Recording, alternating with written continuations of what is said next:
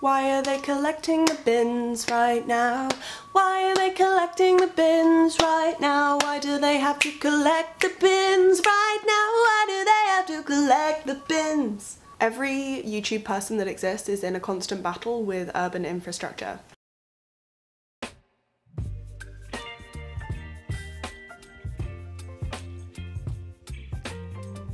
Today I want to talk about a question that I've been thinking about a lot lately. Is gender individual or social? And by that I mean, is gender something that happens mainly on our own, on an individual, personal level? Or is it something that happens socially, embedded in our relationships with the world and the people around us? As usual, this video is going to be a mixture of some academic ideas, some lived experience, and also just some vibes that I've gathered from being a queer person on the internet. If you've never seen my face before, my name's Tallulah, my pronouns are they, them, and I sporadically share semi-academic brain dumps about gender, sexuality and identity. And if you're coming back to my channel then I want to thank you for your patience during these months of radio silence. I finished my degree, started a job and released a single. But now I am back.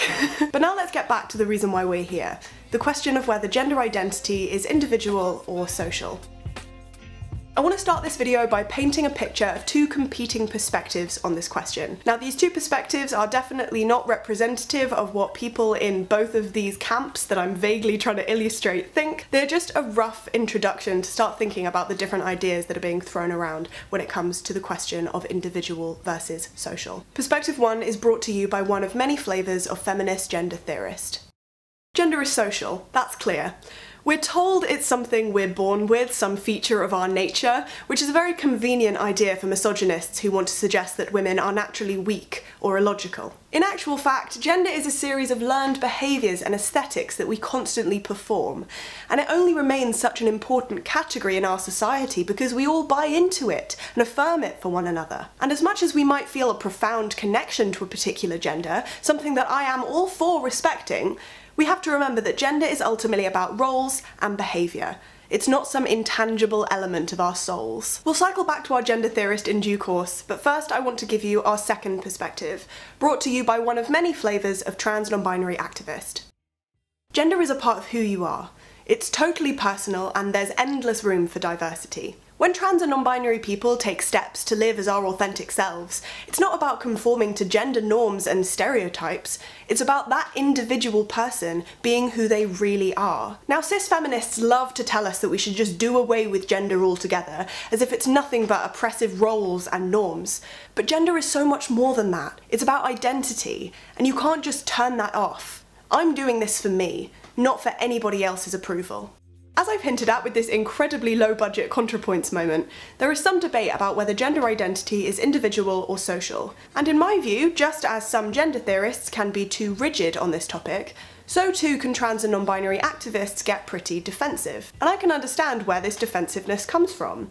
If you're constantly being told that your experience of gender can't be real, and bombarded with fear-mongering ideas about rapid onset gender dysphoria and children being forced to transition in order to conform to gender stereotypes, you're going to focus on a narrative that prioritises individual agency and authenticity. I believe it's partly for this reason why so many activists focus on the most individual aspects of their journey, such as how comfortable they feel in their bodies after a particular affirming procedure, for example. But there has to be more to it than this if only for the simple fact that humans are social creatures and we cannot and do not live in isolation. I recently had a conversation with my therapist about how, as a non binary person, I live with the knowledge that most of the time when somebody meets me for the first time or sees me in passing, they're going to unconsciously misgender me in their heads. And that feels heavy to me sometimes, even though I live a very privileged life compared to many other queer people. And she said that it was no surprise that not being seen felt like a weight. After all, as people, we need to have ourselves reflected back at us by others. It's how we feel connected to our place in the world, it's how we build relationships, and it's how we form a sense of self assurance. So, as much as I can gain a greater knowledge of myself and share that with those closest to me, I still have a deeply social need to be seen as who I am, not as who I am incorrectly assumed to be. Thinking back to our generic feminist gender theorist, She said that gender is something we all affirm for one another, social cues we've learnt to respond to. And while I disagree that gender is nothing more than roles and social cues, it makes sense that gender is something profoundly social. It's something we all do in relation to one another. And this is a big part of why being misgendered can feel so upsetting and destabilising. It means that, whether consciously or unconsciously, somebody is not seeing us we are not being reflected back at ourselves. So what does this mean for our generic trans non-binary activist? They told us that they aren't transitioning and living as themselves for other people, they are only doing it for themselves. This is clearly true in one sense. They are on a deeply personal journey of exploring what makes them feel at home in their mind and body.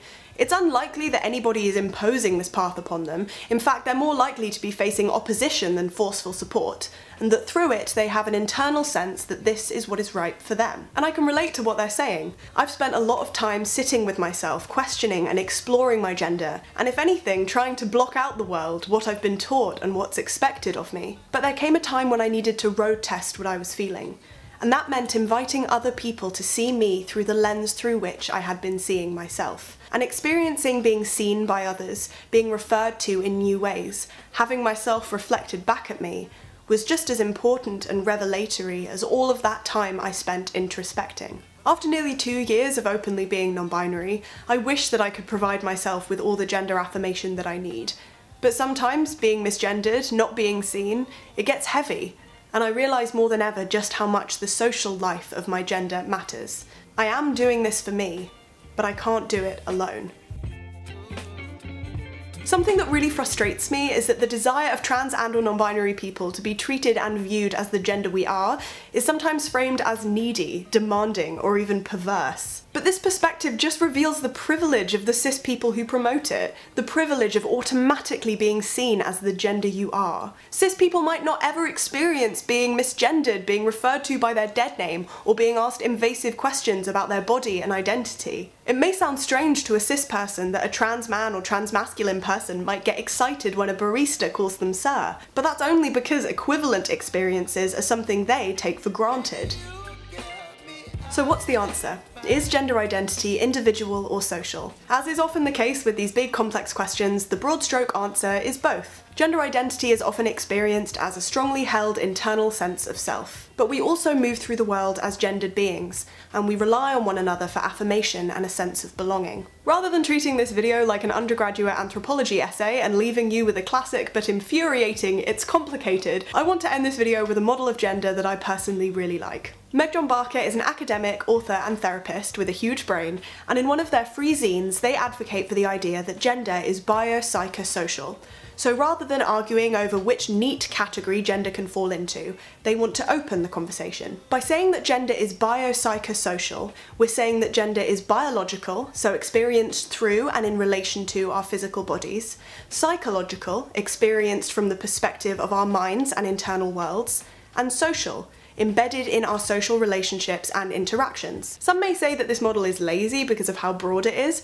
but I think it has to be this broad, because removing any one of these three aspects leaves you with an incomplete picture. Take our bodies or biology out of the picture, and we're left without our physical selves, the embodied thing that carries us through the world and can't really be separated from who we are and what we go through. Ignore our inner worlds or psychology, and we're planes without pilots, our sense of self lies at least partly in our minds. And as we've already established, without the social dimension, we can't really talk about any aspect of being a person, because we're always existing in relation to one another. If I had to choose a gender theory hill to die on, this one would definitely be up there.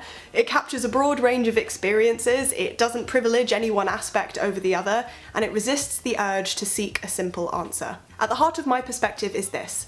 To say that gender is only social ignores gender as an identity, and to say that gender is only individual ignores gender as a system. I'm sorry, but if you wanted a simple answer, you really shouldn't have listened to an anthropology graduate wearing one earring. That's it from me today. I really hope you enjoyed the video and maybe even learnt something new. I'd love to keep the conversation going in the comments down below, so run forth and share the contents of your juicy brains. I've also linked some freely accessible resources in the description down below if you're as much of a nerd about this stuff as I am and you'd like to do a little bit more research. Thank you so much for watching and I'll see you next time. Bye!